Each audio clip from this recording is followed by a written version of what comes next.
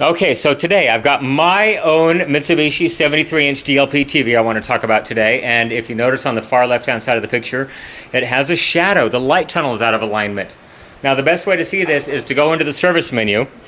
And the best way to get into the service menu is you've got to have the original Mitsubishi remote control and use the code menu 2457 That'll put it into the uh, adjustment menu and then use the fast forward or rewind buttons while you're in the TV mode to select the test pattern you want to show up here. So let's go to the uh, white test pattern. And if you look on the far left hand, left hand side of the screen, you'll see a shadow. It's about two inches wide on this one. And so we're going to talk about adjusting the light tunnel on this TV today. And hopefully we can get rid of that shadow.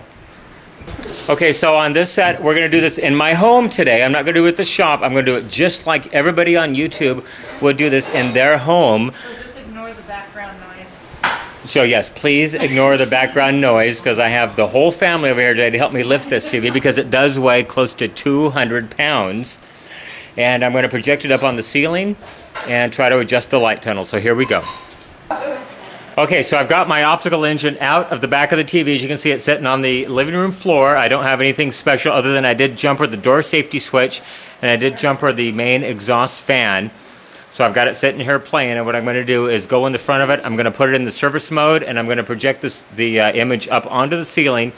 Then I'm going to show you how to adjust the light tunnel. Okay, so kind of hard to see with the light, but right here there's a little plastic plug you can pull the plastic plug out and gain access to the adjustment screw for the light tunnel. I wanted to show you where the light tunnel was. If you take the cover off of the color wheel. Why is everybody laughing? Normally I do this without family around. Okay, so if you take the color off the uh, the cover off the light tunnel, you can see into where the color wheel is. This is what the other video was, and you can see how this one is coated with the aluminum already in there.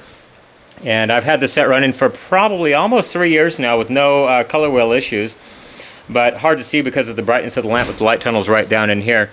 One of the adjustments, like I said, the rubber plug comes off here. You can adjust the light tunnel. And I've also uh, removed the cooling fan. Now the lamp's operating without cooling right now, but if you take the engine up uh, there's another uh, little rubber plug on the bottom down here that you can remove to adjust the vertical portion of the light tunnel. We're not going to be doing that. We're only going to be doing the horizontal adjustment today, but necessary on some sets to adjust the vertical. Uh, let me put the lamp fan back in there so we can continue. Okay, so I've got my optical engine uh, out. It's ready to go. I've got my test pattern projected up on my ceiling. And what I'm going to do is I'm going to insert my screwdriver through the slot and I'm going to adjust the single screw in there. So let me move the camera so you can see what I'm doing.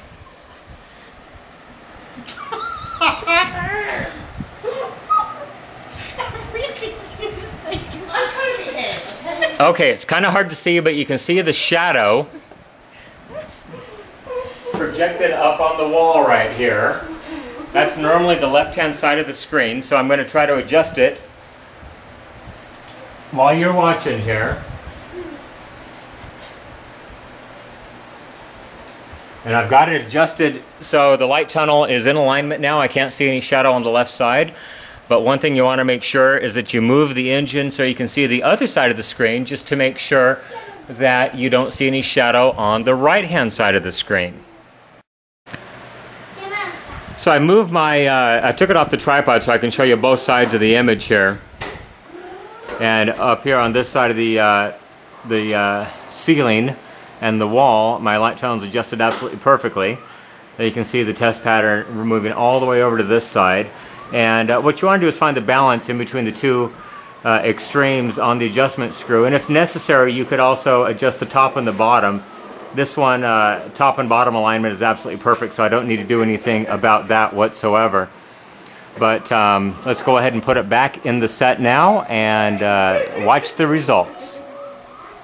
Okay, so I've got my uh, TV all back together here, and you can see on the left-hand side there is no shadow anymore. Remember, uh, to go into the service menu, it is menu 2457.